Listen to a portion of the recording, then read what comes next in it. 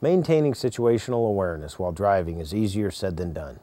It's very easy to let your minds get diverted from the true task at hand. As the article suggests, we need to train ourselves to switch our minds into a more aware state. Let's go back to Joe Darden and listen to him talk about driving distractions. One of the one of the key things that a lot of people talk about, and we talk about a lot during the program, is is distractions that happen to the driver while they're while they're behind the wheel, and that's huge. There are a lot of distractions that are out there, whether they're in the vehicle or outside of the vehicle, that can pull the driver's attention away from the task at hand, which is driving. Now, earlier we talked about you want to get from point A to point B safely. Well, in between those points, everything else is going on in the car. And what we'll do a lot of times is I'll actually have people write down 10 distractions on a piece of paper, give them five minutes to do that. Then we'll come back and I'll write on the board what the people have, have put down on their paper. And what we'll end up with is somewhere between 30 and 40 distractions that we've written up on the board. And it's everything from uh, the, you know, everybody always says the cell phone's a distraction. Everybody says the radio's a distraction.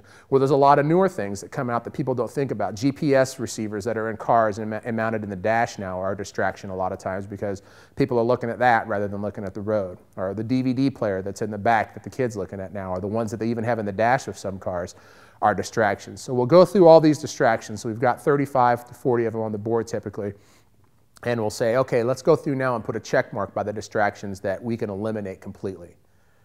And what we'll find is at the end of that, at the end of that there's only two or three maybe at, at the most that are not 100% controllable by the driver.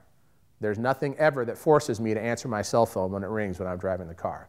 There's nothing ever. I'm never so thirsty that I've got to drink it while I'm driving, a cup of water or whatever. I could pull over, I can do whatever. It's my choice to do that stuff. I could choose to mess with my radio.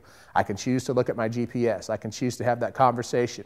I can choose to look at the person sitting next to me while I'm talking to them instead of looking at the road when I'm driving.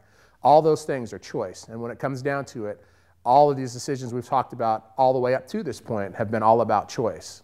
You choose whether or not you're going to drive defensively when you're behind the wheel.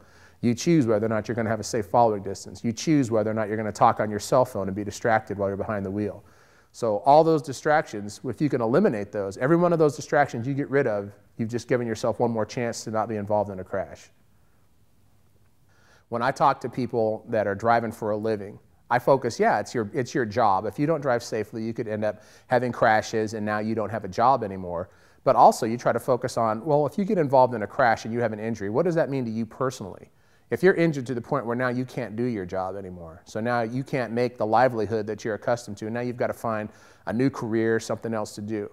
And if that doesn't impact them, well, you think about, okay, what do you like to do when you're not at work? I like to go fishing when I'm not at work. So if I can't walk down a stream bed because my back's so sore, because my leg's been broken or whatever, or if, my, if I like to play golf and my back's so sore that I can't follow through on my golf swing or whatever the case may be, now all of a sudden I found a reason for that person to think of it a little bit more. It comes right down to it. All the defensive driver training in the world is great, but it comes back down to when that person's behind the wheel of the vehicle, whether they choose to apply the stuff that they've learned or whether they choose to fall into old habits and just drive, do that automatic driving where they just are, when they get there, they're there, haven't really put that much thought into it. And when you're a driver that's driving a commercial vehicle, if you're driving a fire engine, you're driving a delivery vehicle, whatever the case may be, usually a lot of times you're the only person driving that vehicle. You're in the vehicle, you're getting from point A to point B. There's not going to be someone sitting in the seat next to you, like the instructor, telling you, well, you're not moving your eyes as often as you should. You're not checking your mirrors every five to eight seconds. You're not moving your point of concentration every two to three seconds to actively search for the threats that are out there on the roadway with you. The threats are there. It's your job to find them. When I talk about you want to train constantly, you always want to be in that mode of there's a threat out here, I need to find it. I need to make sure that when that person steps off the curb or when that vehicle comes through the intersection or when that edge of the shoulder gets soft, I know that's going to happen before I get there and I'm going to have my vehicle set up in the right place before I get to that point. Because once this stuff unfolds and it gets to the point where that's happening, by then you're just in that reactionary mode and there's really nothing you can do but sit along and go for the ride and hope everything works out okay. Whereas if you're more proactive about it and you're planning ahead and actively searching for those threats, you can prevent so many of the crashes that you read about in the paper and so many of the crashes that you see on TV. They would just never even occur because you saw that was had the potential to happen well in advance and just removed yourself from that situation by using defensive driving practices.